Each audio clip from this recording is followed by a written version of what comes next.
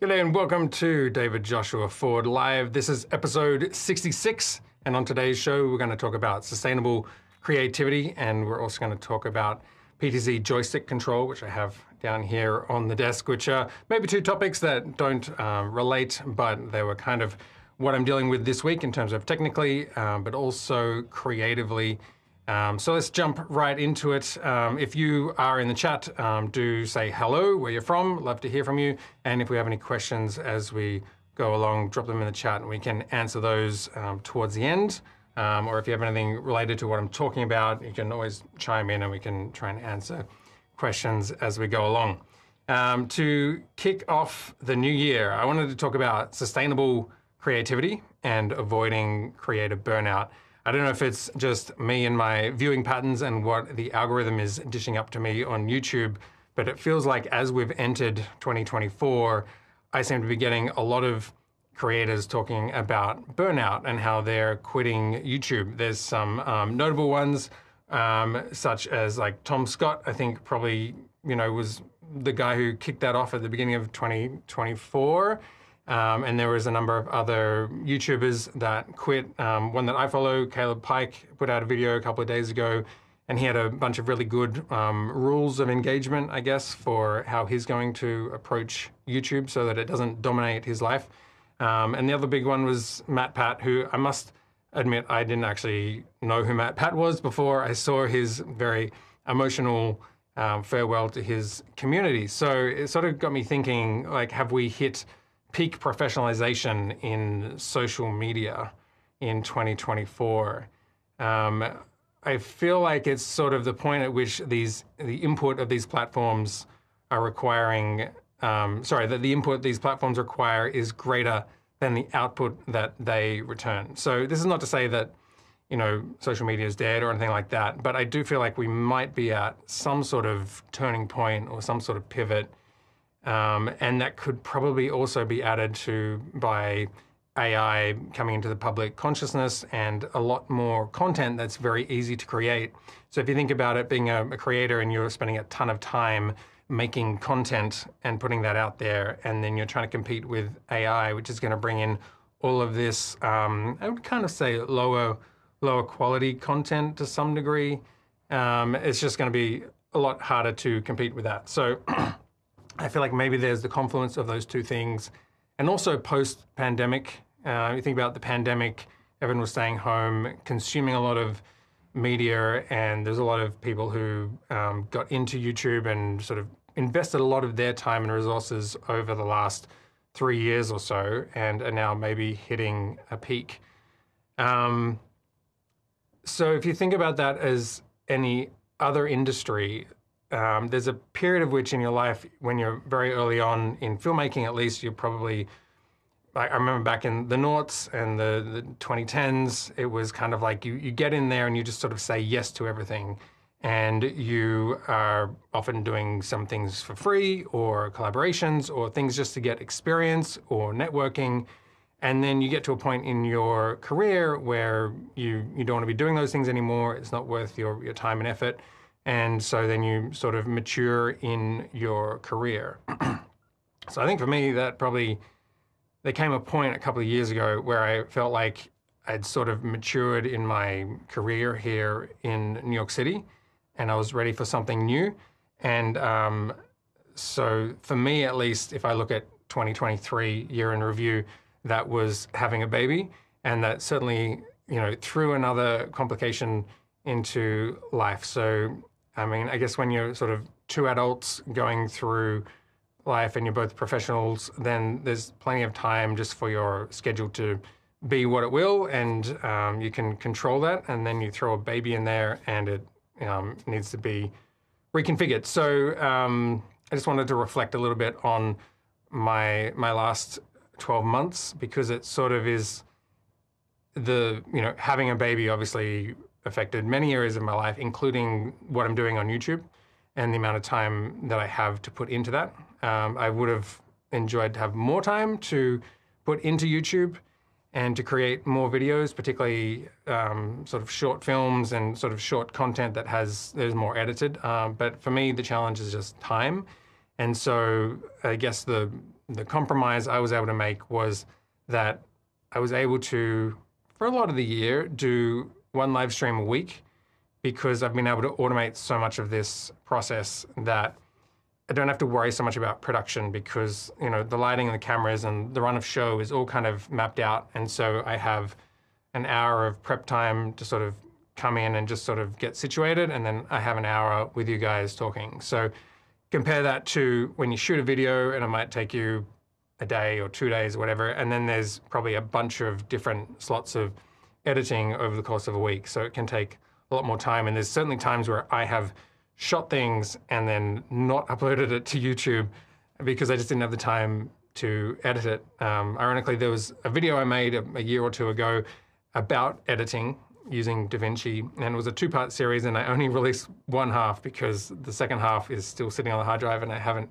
had time to get to it, and it's probably you know past the point of being useful by now.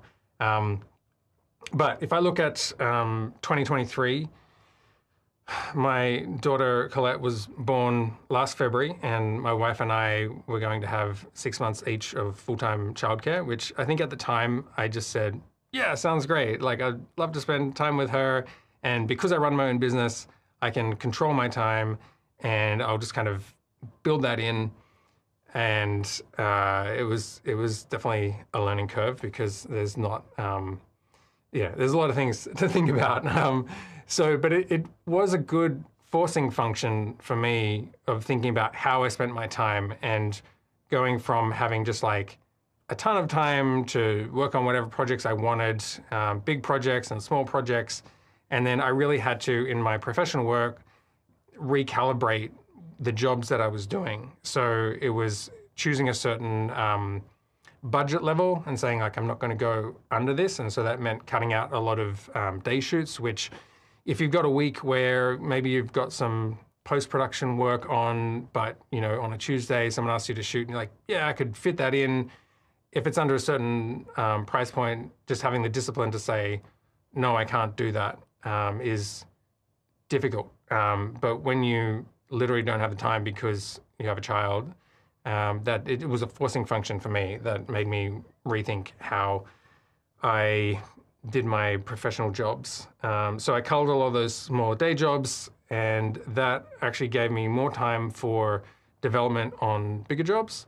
And it also gave me more energy for those jobs because, you know, I'm looking at like a great budget. And so therefore I'm like excited to work on it because I want to make it as good as I can um, so since September, I have been doing um, my six months of full-time daddy daycare, as well as running my business and everything else in life, and it has been uh, it's it's been great and it's been a challenge. Um, I did have a bit of help from my mum, came over at the beginning period of that from Australia for a couple of weeks and that just helped me finish off some of my workload and sort of um, scale that back a bit. I wouldn't have been able to get that done without her being able to look after Coco at various points during the week um, to get things done. And um, and then in sort of October, November, it was it was really full on in terms of just when when you're full time with a kid, it's like Monday to Friday is a job with her, but then you've got the evenings and you're still on, and then she hasn't been a great sleeper, so it's often waking up in the middle of the night time and not getting sleep, doing it all over again for the rest of the week, and then on the weekends you also get to hang out with her. So um, it's just sort of more of a seven-day job, and trying to fit work into that was always a bit of a challenge. Um, so that said, I did actually have my best financial year yet. Um, I also had the most time off I think I've had. I probably had about four months off um, in terms of some paternity leave when she was born. We had a month down in Australia and New Zealand in May to sort of introduce Colette to the family. And then in August, we went to Italy for sort of for a wedding. Um, had a good time there, and then I had um, December off. So I've, I've been able to have four months of the year off. Um, so that's been really good, and that is actually my is one of the reasons why I run my own company and do my own business because I like the freedom to be able to say, no, it's December and I'm going to fly to Australia for Christmas and sort of take that extended period of time.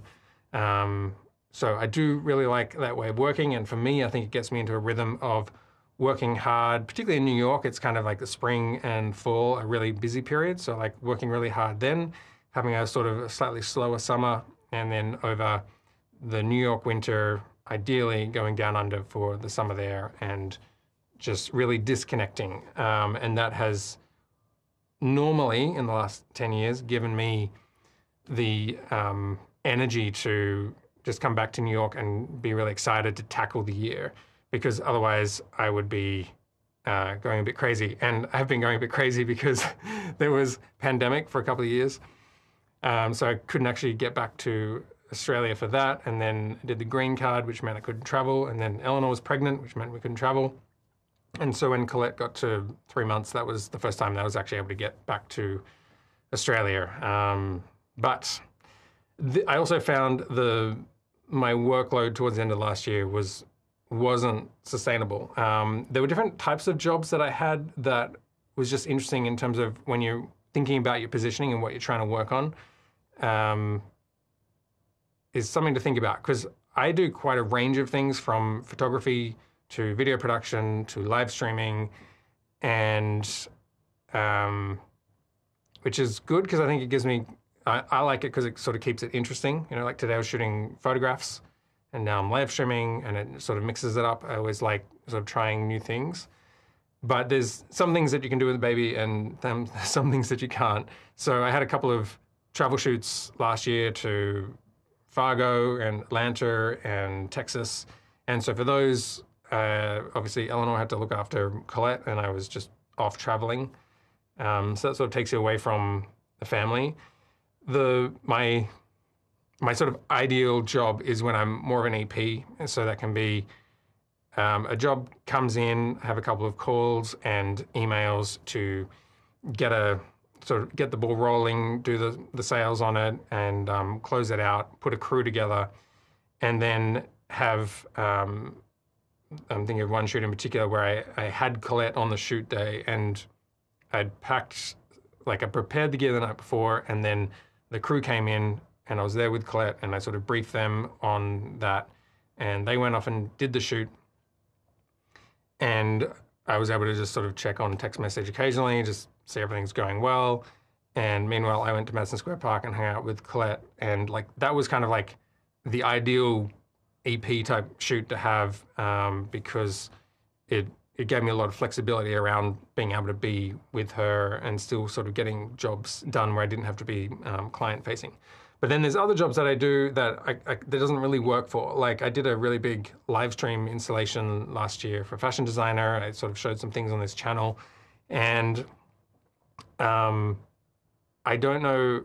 I don't know anyone else who I could outsource that to, or like freelancers that I could hire to put that together. So it was something where I I had to do the job, and I had to like had the knowledge base to sort of put all that together. Um, so that took up a lot of time, and uh, there was some of it which was like programming, which I could do offsite, and the rack build, which I was able to do here in the studio. But then there are other times I just had to be on site, and that was certainly a challenge um, with Colette full time. So I was able to call on some friends sometimes to be like, hey, can you take her for three hours because I need to go be with the client. Um, but then there were some other jobs where I did um, uh, like video production jobs where there was more like the scripting side of things and post production, and then the shoot days are often quite small. So if you can get a shoot done then the, the pre and the post can kind of be on your own schedule. The challenge I found was that because I was like full time with Harold during the day and then getting it down at night, it's like there were some days that I was working through to five in the morning, and that's just unhealthy and unsustainable and um, kind of led to me getting burnt out in December, and, and certainly not what I want to carry through this year. Um, it's the sort of thing where you've, you've been working all night and then I sort of come to bed, but then Colette has woken up and so I've got to go into her room and feed her, and like it's like, oh my god, I just want to go to sleep, and then you got to get up at seven or whatever when she gets up and um, have the day with her. So that that sort of stuff is not not fun. Um, so I had to do some recalibration of what I like my own expectations on myself, and that's one of the challenges when you work for yourself is you can just push yourself very hard. Um, like I can be the worst boss. Hang on a second. excuse me. Um, yeah, like things that I wouldn't ask my crew to do that I would do because I'm sort of driven to get it done and it's my business and I will see the reward for it on the other end. Um, so I I came to which doesn't feel like much to say now, but I think back then was hard for me to accept was that as much as I was wanting to be like full time looking after her for six months until she gets to sort of 18 months um, or maybe 12 months to put her into daycare, um, that I, I, wasn't able to do it all myself. And so we had to get some help. So ended up getting a babysitter one day a week, which was, which was fantastic.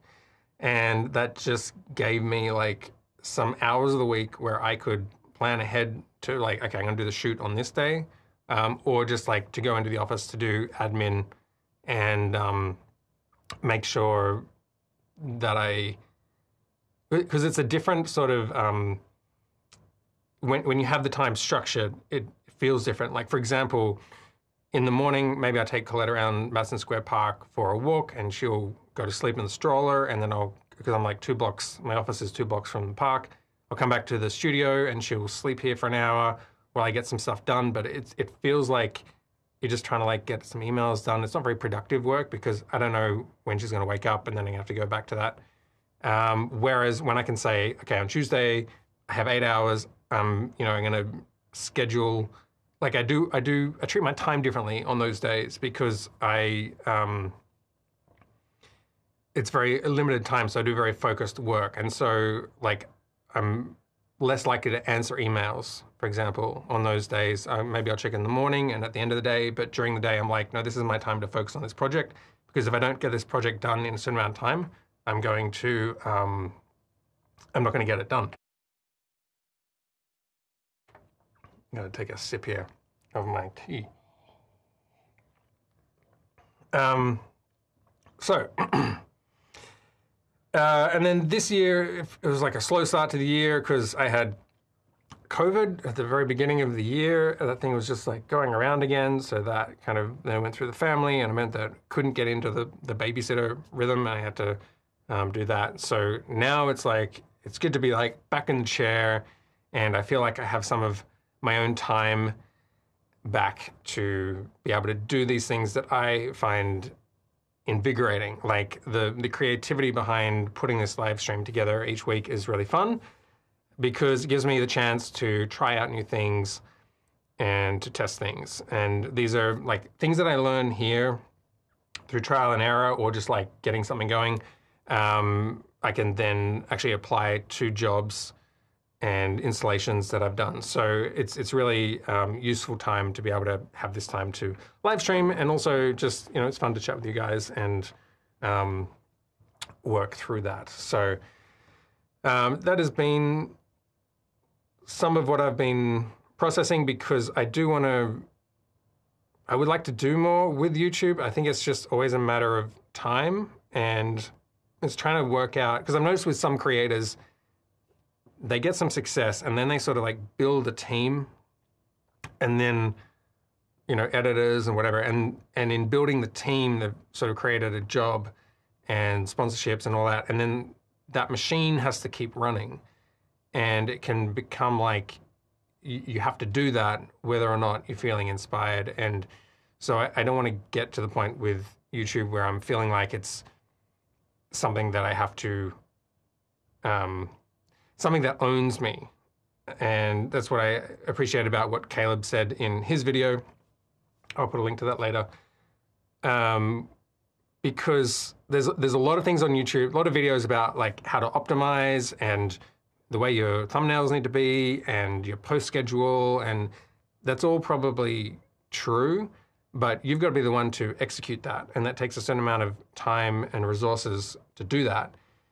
And that's where you've got to look at the balance of are you getting more back from YouTube than you're putting into it? Because it's, it's very easy to put in a ton of time and sort of, I don't want to say unpaid work because you're sort of agreeing to do it, but um, it's very easy for YouTube algorithm to sort of pick what it wants and it doesn't really pay attention to the fact that maybe you've spent a lot of time on something. So you got to take that into account and just sort of be realistic about that. Um, so, 2024, uh, some things that I want to do here in the studio that I've been thinking about um, is just how to um, simplify my workflow.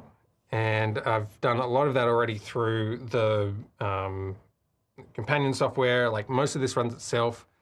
But there's still some things where, like each week, I have to come in and H2R graphics, I have to like repin that to the window and get certain things set up and um, paste the YouTube key into H2R graphics to pull in the comments. And so I've been able to, I, I want to just, I think one of the things I want to do is get like a Mac Mini into the rack that's just going to run the live stream.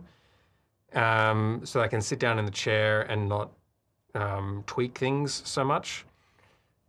And the other one I want to do is a bit more audio. Uh, I've got at the moment a just like a Zoom LiveTrack L8 here, which has sort of manual faders on it, and I want to get sort of digital audio into the rack and have that automated and off the desk. Um, it's sort of automated because the mix that comes from my microphone here is going through the ATEM, and the ATEM on, off, and faders and all that are automated through Companion. Um, so I don't have to think about that so much, but I would like that to be more networked so that I could tap into this studio remotely and, and run something from here if I was somewhere else in the world and one of my crew could be you know, running a shoot here, but I could still be kind of here digitally. And um, it's much easier if all of that kind of stuff lives um, in, a, in a digital world that you can sort of VPN into. I've also laid out my desk in a, I don't know if you can quite see here, um, maybe I'll pull back here.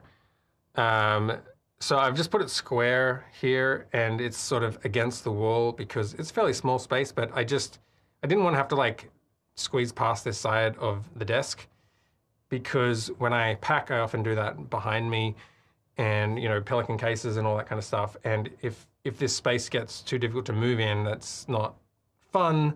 And I, I don't want to have to move the desk. Um, so there were some things where like this angle, for example, is it's off. Um, and and the, the sound panels here I have, obviously being a grid, makes this very obvious. Um, ideally, I would have this desk centered in the room and the camera would be centered and it would just be a very square shot, which I think it would give it a lot more strength to the composition. Um, but it's a compromise to just say, you know, the ergonomics of this space is such that I don't I want to be able to do other things in here other than sit down and live stream. And so compromise is that, for example, this is not square. This is, you know, this should be more, whatever this is. The desk should, should be like this. And uh, those sort of things kind of eke me a bit, but um, it's fine. I'm gonna, uh, I'm gonna live with that. So, and then you can get that kind of shot. Um, the the other thing I've done, because I used to be doing lapel microphones just because it could mean I could move around more, but I've gone back to a shotgun microphone just so I can sit down at the desk and I don't have to worry about batteries and mic placement and all that kind of stuff. Again, these are the sort of things I'm trying to do to simplify my life, to have more time uh, so that the time that I spend live streaming, I can think about the content that I'm making and what I want to say and, and just sort of being present rather than tweaking all of the production things to, to get the shot right. So um, that's that's been a bit of a, a, time saver and makes it just easier than like a whole nother thing and to work out with clothing. Um, and what else? That's probably some of the main things that I want to do. I actually realized like it was like a year ago. Now that I've got the two R5C bodies, and and then I got a bunch of new RF glass. I've got and and the gimbal and the drone. It's like I've got all of the production things that I need to make a really great video, and I don't have any new gear that I'm like, oh, I really want this gear, or I have to get something. Like I've got the stuff that I need to make whatever I need to make, and now I just need the projects and the time and the inclination and the energy to to go do that. Um, so that is uh, it's been interesting. I think the only things that I wanted to add in are, just some of these little live stream things to streamline the the rack and just make it so that I'm doing even less. So it's sort of set up and it's just on, and I don't have to um, don't have to worry about it. Um, where are we up to? Uh, Larry says, "What shotgun mic?" Um, I have two. I have actually have three, but um, I have a four one six Sennheiser, uh, but I decided not to put it here just because it's really nice having some kit that is like packed and ready to go. And so the microphone that I've got in here is the I can't remember. It's like is it Sanken or something? Um, it's a shorter shotgun mic. It was still like 800 bucks, so it wasn't cheap, but it was. I was looking for a good quality short shotgun microphone that could be mounted to the camera if I needed more ENG style work rather than like a longer shotgun. So um, that is the one that I've just decided to install here, and I'm using an old Rode boom arm that um, I. let me see if I've if I can pull up here. Um, this is a very old Rode boom arm from like 15 years ago that I bought in Australia, and it's kind of falling apart, but it doesn't move anywhere. So I was just like, I'll use that one, and then my main boom arm is something that is packed in the kit. So again, it is just trying to work out ways um, in which I could not have to break down the studio to go on a shoot, and um, it's also nice with like I've got enough lighting here to kind of mostly leave all, all the lighting in place. And then when I go do interviews and like whatever, I have um, other 300Ds and whatever that I can take to do that. Occasionally I need to tap into some of these lights because I don't want to have like a ton of gear, but um, that is nice having the sort of studio setup and then um, other gear back behind here in the the racks that is stuff that I travel with and do the production work with. Um, let me have a look here. Larry says that it sounds good. Um, yeah, excellent. I I also just spent more time tweaking the expander in the ATEM software because I think I probably hadn't fully set it up um, correctly, and so I I just spent a bit more effort of um, doing that. I think one of the things is, and I maybe need to tweak it further, but the um, obviously, like the closer you have a microphone to you, it's going to sound more present and sort of richer and warmer. Um, but you also have more, you, you, don't have as much leeway. So if I'm moving off mic, um, it might go down a bit. So I think that's where having the microphone placement just like a little bit further back, like instead of it being here. This probably looks different. I don't know if you can sort of see how far it comes in, you know. So I've got like two feet or something from me. Um, it's it's kind of like you know how light falls off exponentially. So if you move a light double the distance, it's well, what is it? The square root? I can't even remember. Anyway, but it's like if you move the light um, back the same distance, you don't get like half the fall off. You get like the square root or a one fourth, or I don't know, something like that. So it's the same sort of thing with sound, where um, if you move back further, then there's more latitude for movement, um, which is obviously one of the nice things for with a lapel microphone. It's always like placed there, and um, you're not really going off axis as much. Um, but that's something I've been been thinking about that. Inverse square. Um, yes. Thank you. Trying to uh, uh, remember what that was. All right, let's move on to the next section. A PTZ joystick control for around about the $500 mark. and um, I have the AV Matrix here. Now, I've got Canon PTZ cameras, and Canon does make a controller that's about two thousand dollars, and then they brought out a new one, which is about five thousand dollars. Um, but the the profile that I've developed that runs on Companion basically does like everything that I need it to do and much faster and better. Um, the one thing that is sort of uh, missing is is maybe like a joystick when you're trying to do more like live following something around. So this is obviously maybe not the smoothest of motions, but um, so here's a this is like the manual.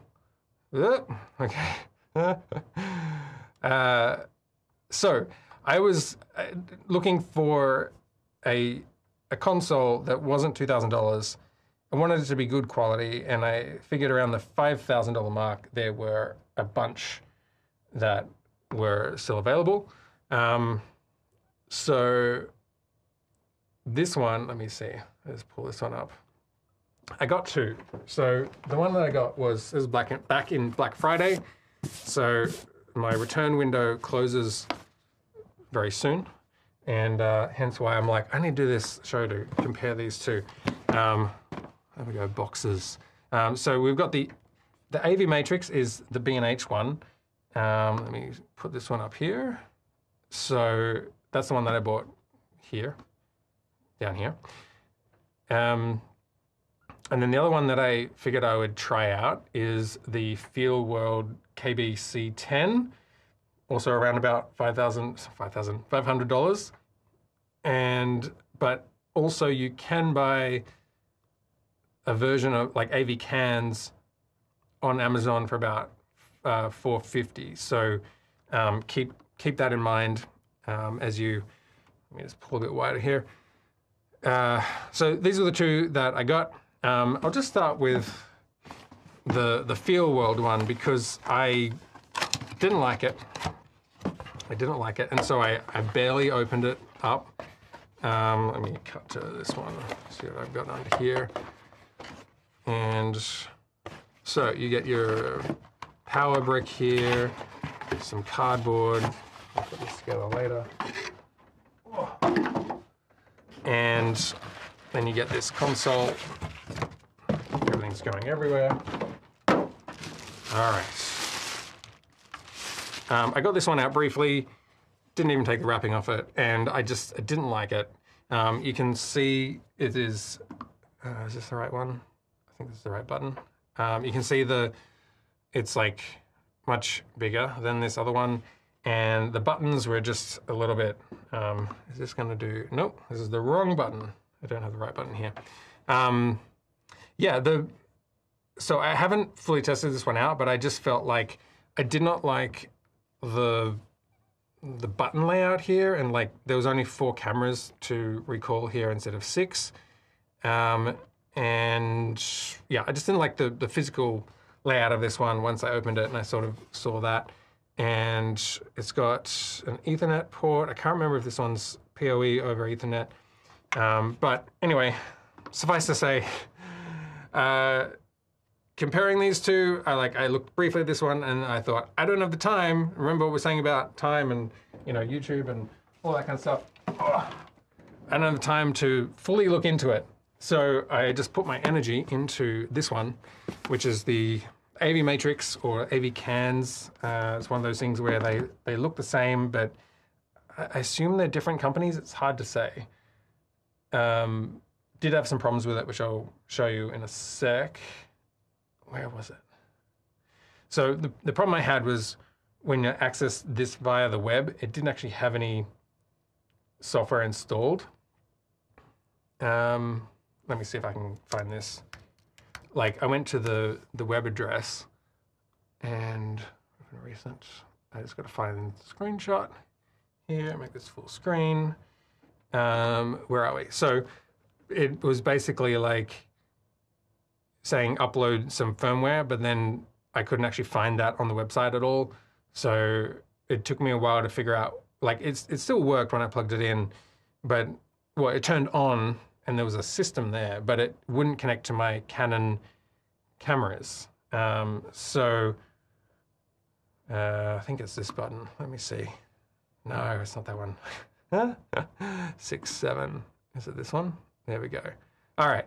Um, so what I was able to do is once I was installed the software, I was able to get a Visca Sony running, and Visca Sony actually worked with the Canon cameras, whereas I couldn't get Visca just working with the Canon cameras. Um, but this uh, this one actually quite quite like the sort of ergonomics of this one a bit better. So um, let's go through that one. I'm just going to quit this.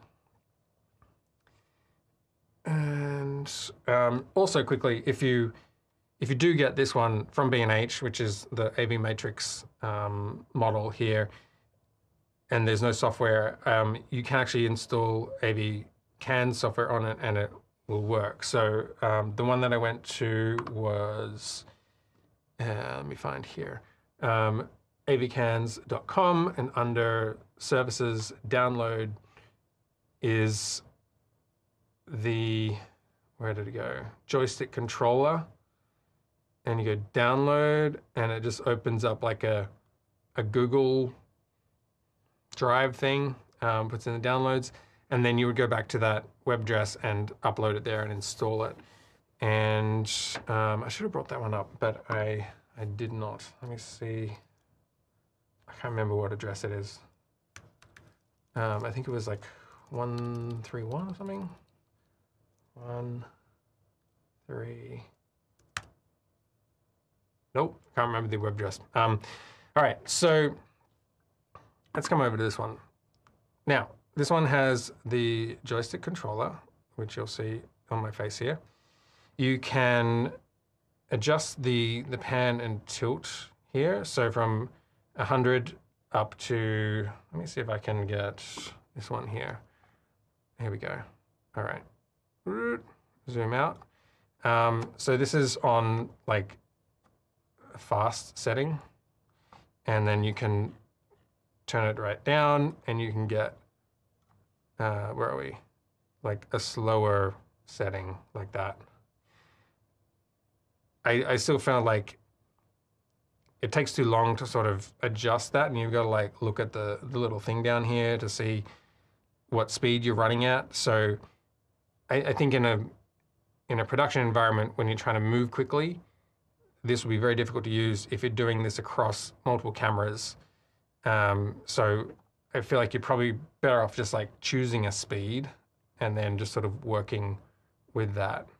Um, if you tap this, you'll change between zoom speed or pan and tilt speed.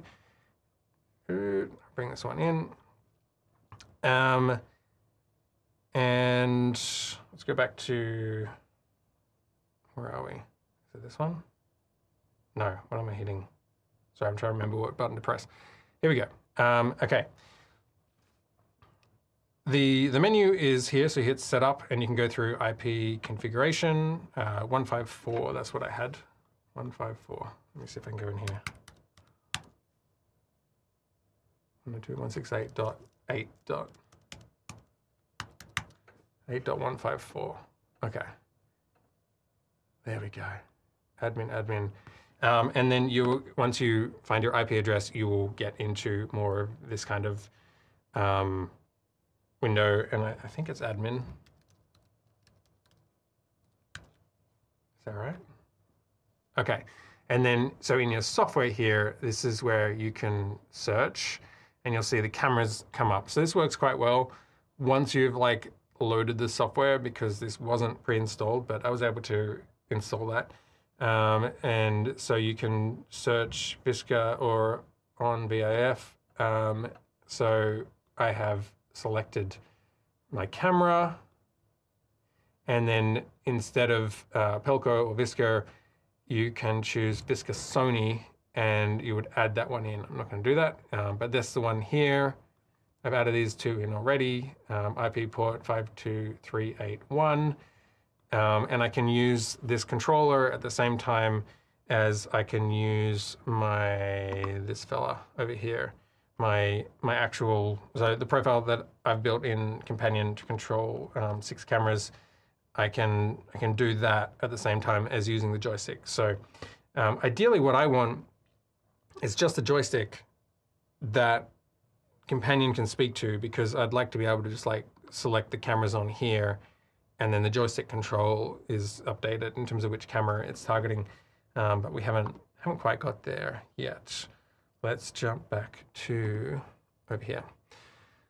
Okay, um, so you can work your way through the IP, netmask, gateway, exit. Um, in terms of DHCP is a, a nice way to sort of find that on the network, and then from there you could make it um, static. Um, LED mode, uh, assigned key, advanced. What's under advanced? Trackback. I haven't gone into all of this. Version reset. Version. This is version 1.97D plus and 1.7 exit, reset, exit. Okay. Um, so that's kind of the menu there, which is pretty simple. Um, you can, these buttons here can quick select control between um, cameras one to six, and you can also reassign them to other things. So I've just hit um, camera one, so you can see I'm zooming in here. And then camera two, and it takes I think it takes a little second to, for it to like jump between cameras. Um, so you can have six buttons there. So that's nice because it's like very easy to like select which camera you want to work with. But again, if you're sort of jumping between cameras, it's going to take a little bit of time.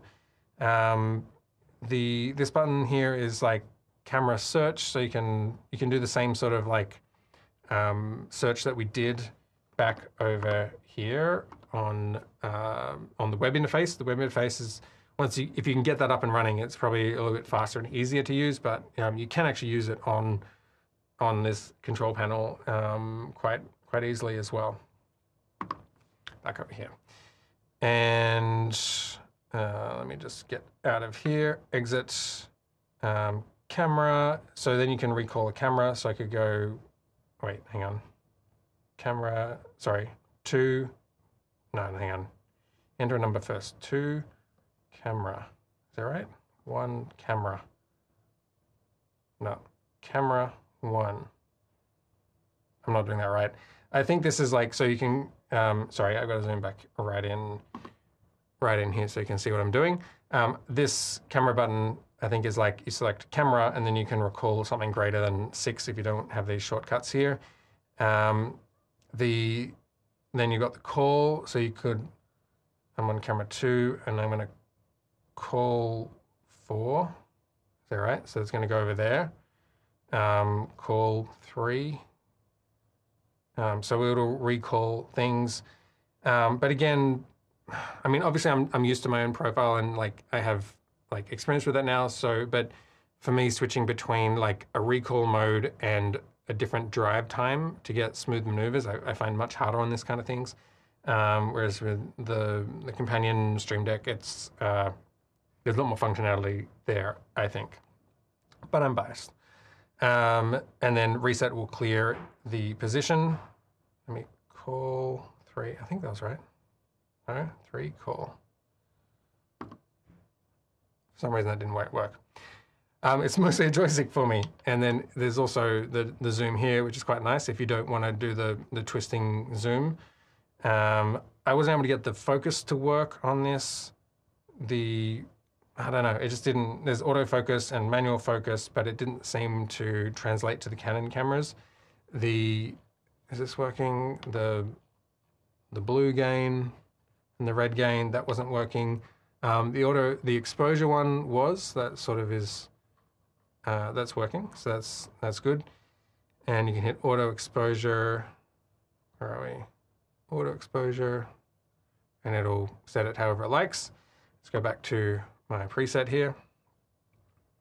Um, anyway, that's about it. I think uh, that was The, the purpose of this exercise was if I wanted a professional PTZ joystick to add into what I've got, and I don't want to spend more than about $500, um, then this uh, seemed like like a really good, solid quality build. It's nice and small, so it's not taking up too much of um, the space.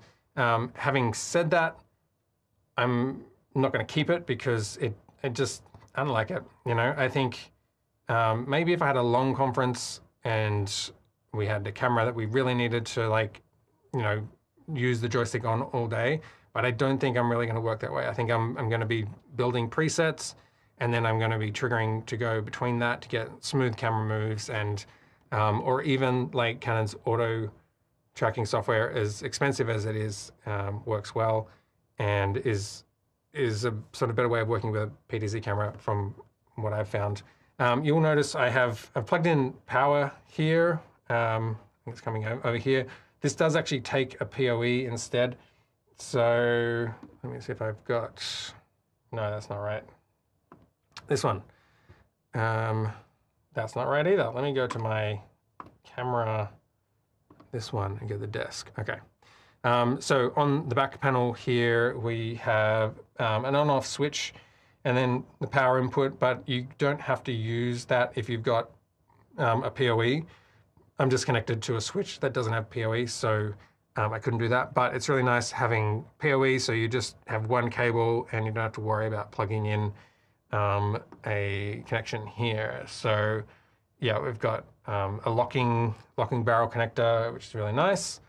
And then we've got some tally things and some, uh, what do you call it, RS22 or whatever. Um, and then the sort of Ethernet one here. Um, so I really like this unit.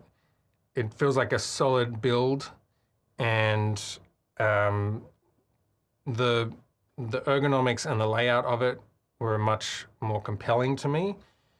Um, I'm going to jump back to my shot here. And whereas compared to, where's that other one? This this Feel World one just felt kind of kind of clunky. Um, obviously, I've not given it enough. I've not given it enough of a run um, to really compare, but that was my initial thing. Was just like this one was the one to to get, and um, if you go to Amazon, it was a little bit cheaper than um, B and H. Um, yeah, bouncing around here. Anyway. Um, let's go to some, ah, last section here, 47. We've got about 10, 15 minutes left here. Uh, I'm going to stand and grab my iPad and um, uh, see who we've got here. Um, Jules, great to have you here. If you are in the chat, um, make sure you drop a, a, question in there and I'd love to be able to answer that. Or if there's anything that I was um, talking about in the first section about how you're spending your time this year and what sort of creative projects you're working on and how you're sort of balancing that across other life aspects. Um, I'd love to hear about that. Um, and then if you've got any other questions about this particular PTZ console, we can we can take a look at that. Um, but great to have um, Jules here, Uptown neighbor, as always. Uh, I can't, where are we? Uh, Captain Media, from Quebec. Great to have you here. Larry Reed from Oklahoma City. Um, and like this review says, what about shutter speed and exposure compensation? Um, it's probably in there. Let me see, setup. Let me see, inquiry. I don't know that it is in there. From what I can shutter speed and exposure compensation. There is, as I was showing you before, there is the, um, the auto exposure, this one. I think that's right. Am I controlling the right camera? 102. There we go. Maybe it's a one press. Um, automatic exposure, or else you can turn that off and dial it in how you like. That's the iris. Um, I think there is shutter in there somewhere, um, but I do not see it off the top of my head. So um, yeah, there's, there's a bunch of things you may want to still go into the web browser for to adjust rather than doing that here. Um, you know, otherwise spend the two thousand dollars and get Canon's actual actual one. Um, what have we got? Uh, the zoom button is a fine tune zoom control. Um, let me see if we've got that. So if we've got, let me just clear that. So, I mean, I quite like, wait, I'm using the wrong, let me switch here. Camera one. Ta-da, there we go. If I zoom out, ah, going in reverse, wait. There we go. I'm curious at the speed that it goes. So I've set my zoom speed to, let's set that to like 50%. So if I turn, it's got that kind of, yeah, I quite like the all-in-one sort of pan and tilt and um, obviously need more experience uh, doing gaming as a kid. I just don't think this is me to sit here all day and do a joystick. Um, okay, and then if I do, okay, so is this, my question is, is this different in terms of its sensitivity? So if I just do very, like very slow zoom, in we go. And is that different to just using the PTZ without twisting for zoom and using the zoom? Mm. Mm. It feels like, uh, I feel like it kind of jumps, right? Like it's, I feel like it's less sensitive on the, the paddle here than it is on the actual twisting. If I'm trying to get a really smooth start, ah, this is why I don't like these things. Um, whereas this one, I found like I could actually, I feel like it was better on the on the actual joystick, turning it that way, and then you get the added sort of moving around. Anyway, uh, yeah. See, I can't run a live stream and manually do this. Uh, Martin says, I bought a $20 Logitech F310 game controller and use that with PTZ Director One software, and it is great. I mean, that's much cheaper than 500 bucks, so maybe I'll have to check that one out. Um, email me some links and I'll, I'll, take a look.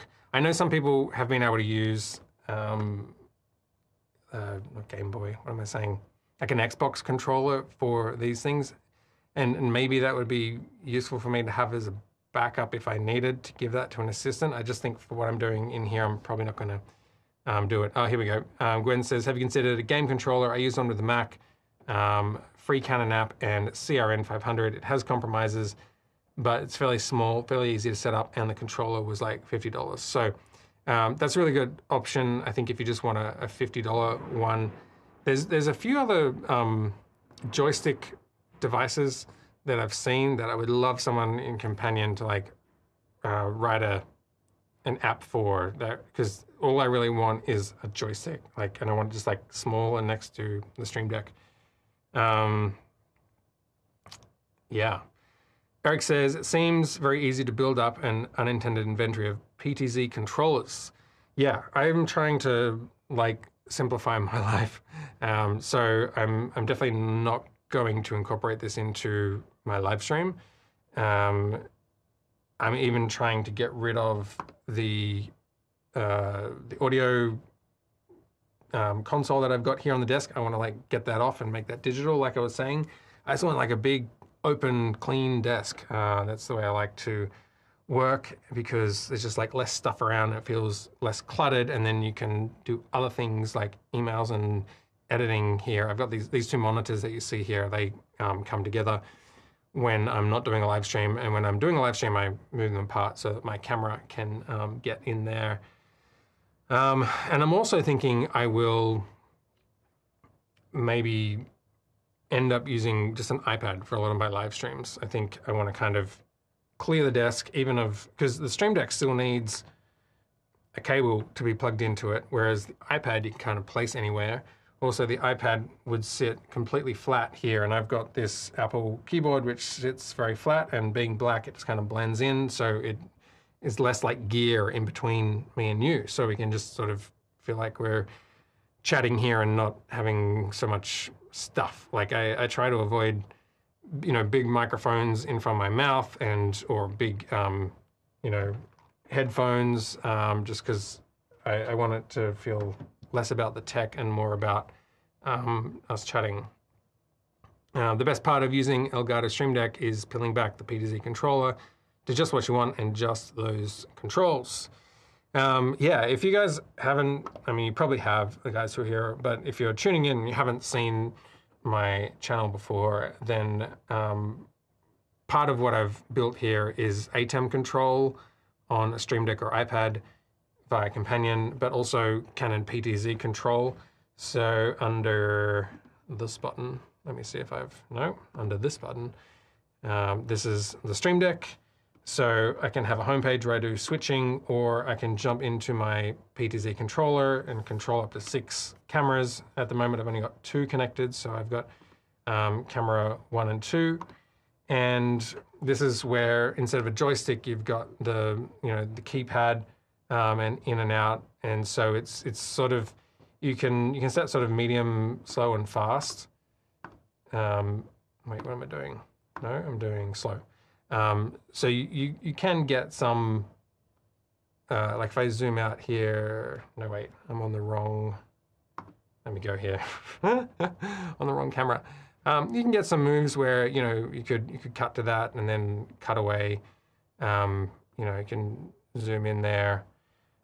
And then if you wanted to do like off air, you could put that onto fast and you could do like a, a quick, you know, re try and find something else here, like my rack down here.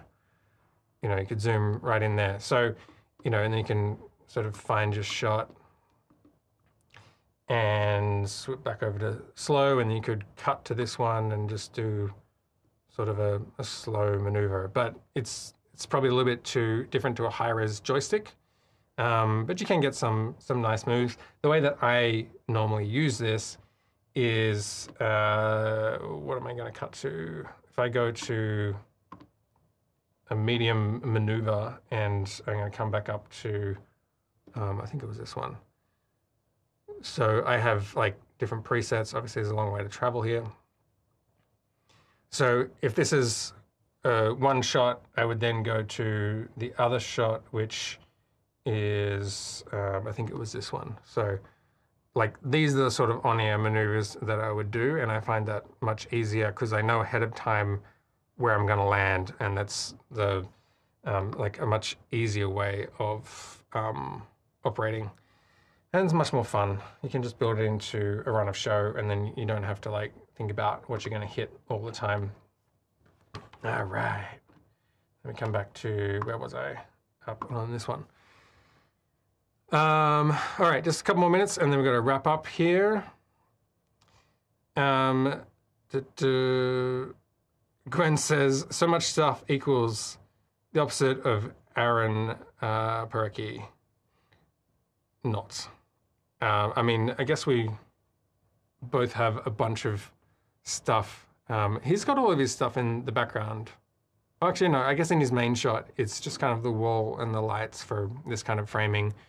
Um, but and I know John Barker too. I think has got that sort of control room background um, with that in the background.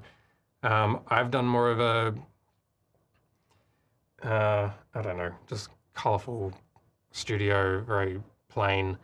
Um, the way I've laid out my studio, if I can jump over, I don't know if I've got the, the coverage here. Let me see how far this camera will go. I've got a bit of junk. I can't go any further than that, just the way the camera's set up. Um, so there's some space behind me, and I've got a seamless there that I can put down. And then I've got my desk sort of in the middle of the room. And then I've got um, two monitors, my microphone, and and then my rack is here in front of me. And that's just a 4U rack, so it's actually, it's quite small. I've got the, the Extreme and the Pro here. I use the Extreme for um, program recording uh, which I don't think I did today. I totally forgot to hit record. I need to build that into my run of show. Um, and um, so normally I would program record that. Bummer that I didn't. Um, and then further up behind here is my um, floor monitor. And I don't know if you can see, you can sort of see the screen just up here. That's the bottom of the, the teleprompter. Um, so that's, I'm looking at a program feed there for confidence, just so I know what I'm putting to air and I can keep eye contact on the camera. Um, but then up here is my um, floor monitor, which you know gives me the multi-view and I can see everything that I need to in that. Um, and then where are we? I'll zoom in here. Yeah, and then I don't know if you can even see back there because it's all very dark, but back there is like a bunch of gear and other stuff. So I'm just gonna pull back here into frame. Um, and then this is my blurred out of focus shot that I have to start the show, just to show you that someone is in the house, even though, um, you know, uh, just, I don't know, for, what's that like, the football shot, the aerial football shot. Um, all right, coming back to this one. Uh, Eric says Aaron's got six plus cameras, um, the Lumix BGH1. Um, I I really like the PTZs. I've just gone that route. I think if you've got enough light, because um, they're obviously not amazing in low light, but if you if you've got enough light, then they work well for bringing up different types of shots and moving in between things. Um, and then it's just thinking about placement. I would like to add another camera, but having just said previously, like I'm fine. I don't need any more gear. I've, I've got enough. Um, I I do think one of the things I've thought about would be nice this year is building a sort of Zoom ISO to get a remote caller into the show um, built into the rack. I can sort of do it through my computer, but it's a bit of a you know workaround with the mix minus. Um, so getting some of that stuff sorted out would be nice for remote guests to bring them in, and then also thinking about a way in which maybe if I added in one camera, I could have um, like a guest here opposite me. So this could be my main camera, and then I would have a camera back here, sort of cross shooting onto that one. So that's kind of what I think about. Um, you messed up the joke. Um, I, I figured you were joking, um, but I I think I misread that. So um, apologies for there. Um, Rob, good to see you. Glad you could join. Um, and uh, Larry Reed says, I have a talk show that usually has two hosts and two guests. I tend to be the engineer also, um, so looking for a PTZ camera. We have to go budget until income flows, um, PTZ optics or AVKANS. Uh, I have limited experience with them, so I would say take what I say with a grain of salt. Um, I did at one point purchase PTZ optics and used that for a while alongside the Canon cameras. I preferred the, the image from the Canon cameras and also just the, the interface behind it felt a bit more like a actual camera rather than some sort of like technical thing. It felt more like using a DSLR sort of on a web page. Uh, so at the end of the day, I decided to go with uh, Canon, also because all of my other cameras are Canon, and I really like their the color and the lenses and all that kind of stuff. Um, but I I did buy a PTZ camera, sorry, a PTZ optics camera, and try it out, and um, it worked well, and it seemed good quality, and it has good integration with Companion. So if you did want to use that, you could, you know, there are modules within Companion that you could use that. Um, AVKANS, uh, I've only tried this controller, which seems okay. I haven't been able to try any of their cameras. Um, on that note, if AVKANS would like to send me a camera, maybe that could be my third camera. that can be my angle. Um, I could try that out. And uh, yeah, I, I think I remember seeing on Amazon some AVCam stuff, and it looked like it was like 1200 bucks, and then you get like two cameras and a controller. And I was like, it seemed like insanely cheap. Um, and I also feel like a, a number of these cameras coming out seem to have tracking built into them, which for Panasonic, Canon, and uh, Sony, they seem to charge a $1,200 additional license per camera for auto tracking. So I feel like some of those um, cheaper camera brands are going to give some of the sort of higher end camera brands a run for their money because this tracking is just going to be expected. You know, you think back years ago of um, eye tracking or autofocus and that kind of stuff that didn't used to be in cameras, and now it's just expected that it would have autofocus. I wonder if with AI being the way it is, if that is going to be something that is, um, you know, people just expect in a camera, particularly like a PTZ camera. If you think about the the what's the word the philosophy behind a PTZ camera is kind of that you would not have a human operating it. I mean, the pan, tilt, and zoom are robotically controlled remotely. Yes, maybe there's a person on the other end of that, but it can you know can very easily set up um, loops or just other automations. That means you can get these camera shots without someone having to run it. Um, so why wouldn't tracking and um, like AI face tracking be part of that? Speaking of AI face tracking, I think we've got a way to go before it recognizes people's faces. I feel like AI face track face, face tracking needs to be like take a snapshot of someone's face and then actually track that person rather than just like a face. Um, yeah. Anyway. Uh, Rob jumping in here. He's tried PD opti- PTZ optics. Um, it's okay, but not great. Um, image quality is the same as the 10, Tenveo VHD 20N. The software is better than the PTZ optics, um, but the Tenveo is only 400 pounds. Um, yeah, something to consider if you like. I don't want to say like, you know,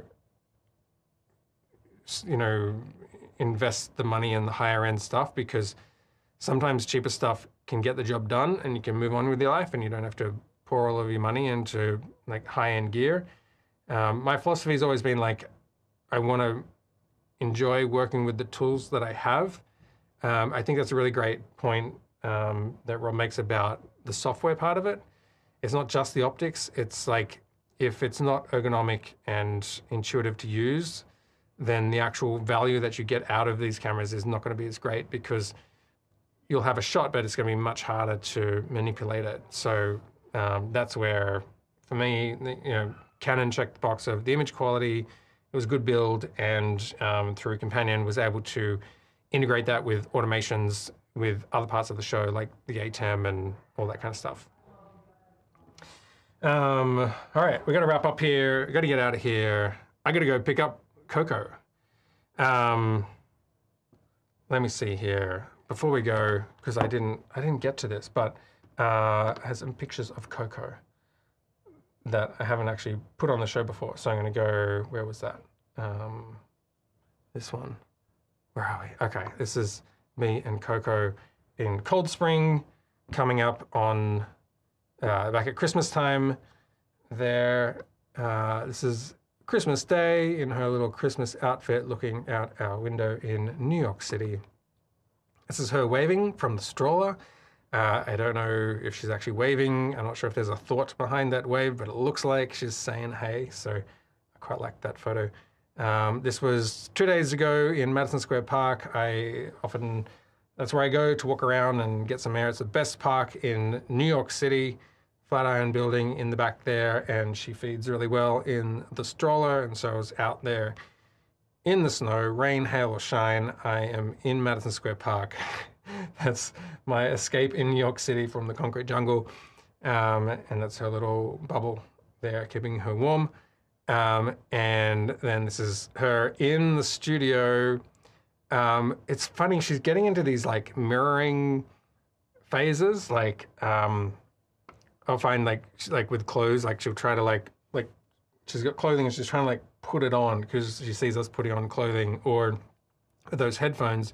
She did actually like pick them up and like put them on her head, um, which I was like, how does she know that they go on? Like she must she must watch us.